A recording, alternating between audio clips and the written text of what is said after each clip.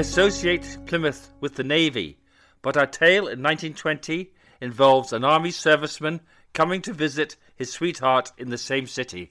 Cyril Saunders was a 21 year old Lance Corporal in the Royal Engineers, based in Crowborough in Surrey. The source of his affection was a 16 year old cousin called Dorothy Mary Saunders. She lived with another cousin, Mrs. Elizabeth Lawrence, who owned what we call nowadays a convenience store. Her parents had died, thus the move to Plymouth. He was a popular soldier in the regiment and had even seen active service in Russia. But on the 24th of July 1920, all this was to change, and not for the better. He was accidentally struck on his head on the parade ground, which completely changed his personality. After spending 10 days in hospital, he turned from a cheerful squaddy into a man who was ill tempered and had a blank expression on his face. At one point, he heard a dog growling and had to be calmed by a fellow soldier that it did not imply immediate death. You do not have to be trained in psychology to note that he had changed.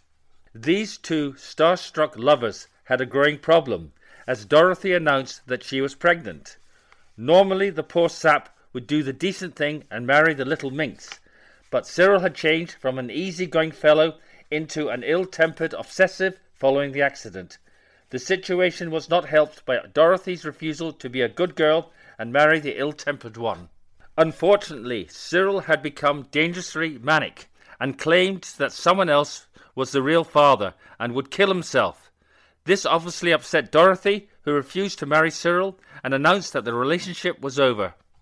He returned to Surrey and brooded over the matter and wrote a series of letters in which he still claimed there was still another man who was the real father.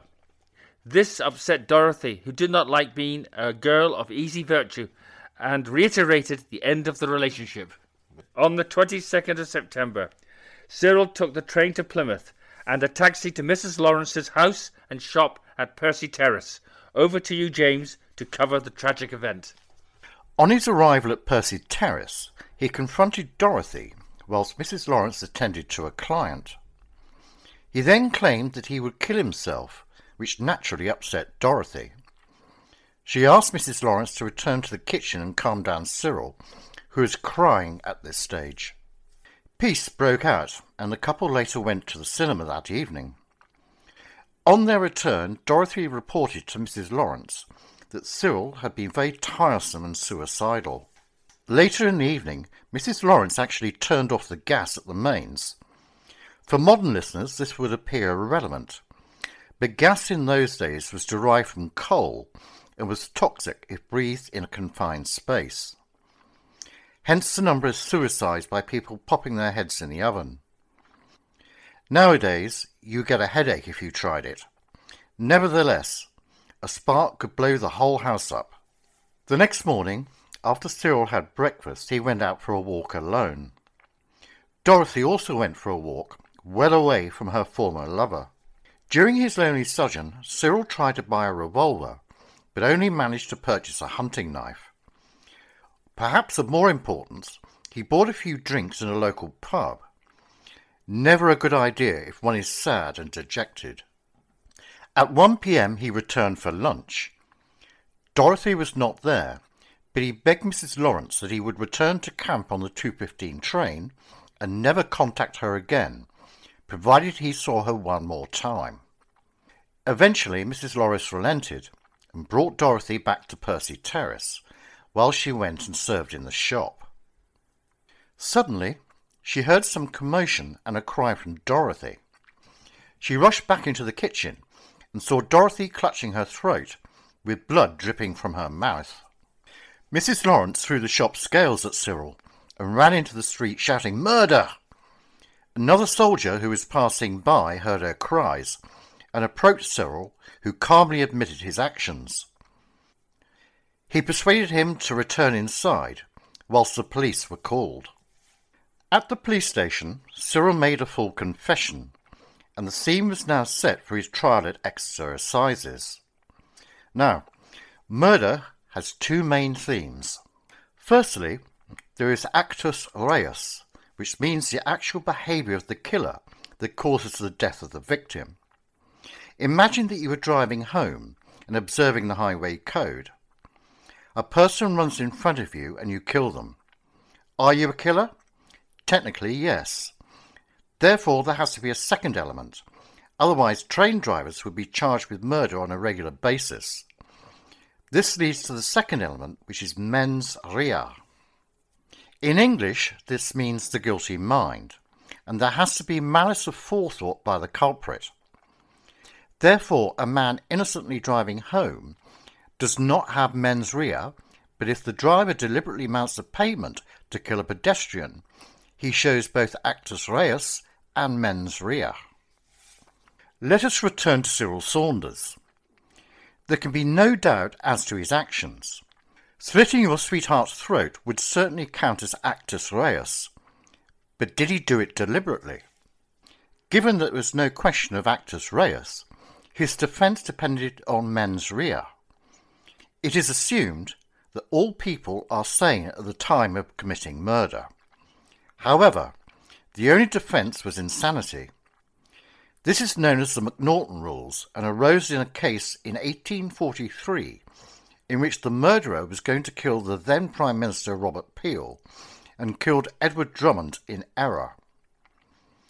Robert Peel is still remembered for the repeal of the Corn Laws and the creation of the modern police force. Stanley Perceval still remains the only British Prime Minister to be assassinated. The normal method of proof is on the prosecution to prove their case. Under the McNaughton rules, it is on the defence to prove insanity, not the prosecution. Witnesses, including expert ones, can be called. Let's now look at the witnesses called to give evidence. Cyril got a good reference from his chums in the army. That was to be expected. They all agreed that the accident on the parade ground had altered his personality.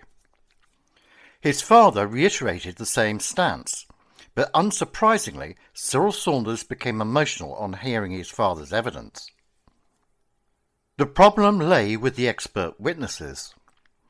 Basically, they must all agree on the same theme. If they cannot agree, then why should the jury accept the evidence of either side? And so it was to prove on this occasion. Dr. Pinker of Plymouth Jail examined the accused and was asked to give his opinion. He stated that Cyril was sane at all times. In cross examination, he admitted that the previous accident could cause Cyril to be irrational when confronted with stress. A Dr. Turner, who ran a private lunatic asylum in Plympton, near Plymouth, was asked to give his opinion.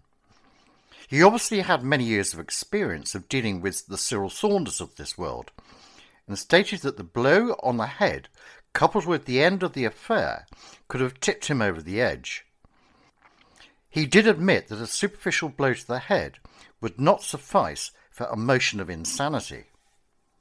Pretty weak, as it seemed to be a case of you pays your money and you takes your choice. The jury took only ten minutes to start the process of the trip to the gallows. This was not a case of justice delayed is no justice. On the 30th November, Cyril Saunders was executed.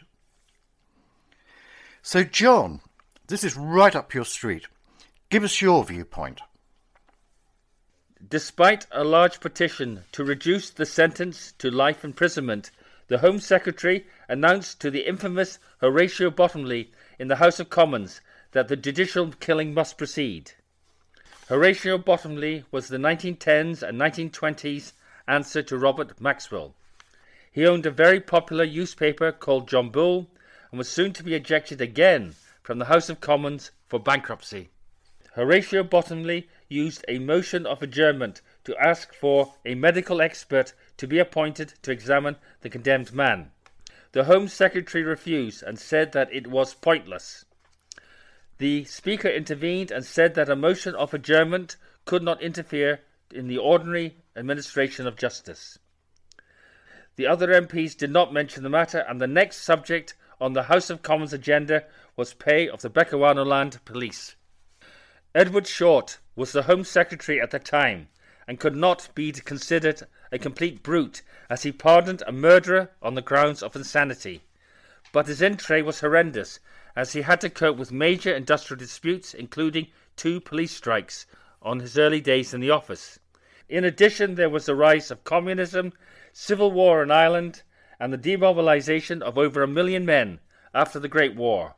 One wonders the amount of time he spent on some obscure lance corporal. When examining murders in the West Country, it is extraordinary at the number of cases where the murderer is either going to kill himself or enter into a suicide pact.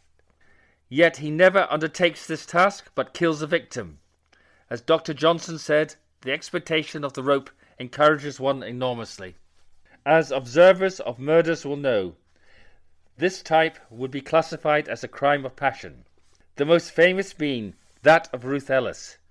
But the British system does not recognize this, and the only defense was insanity.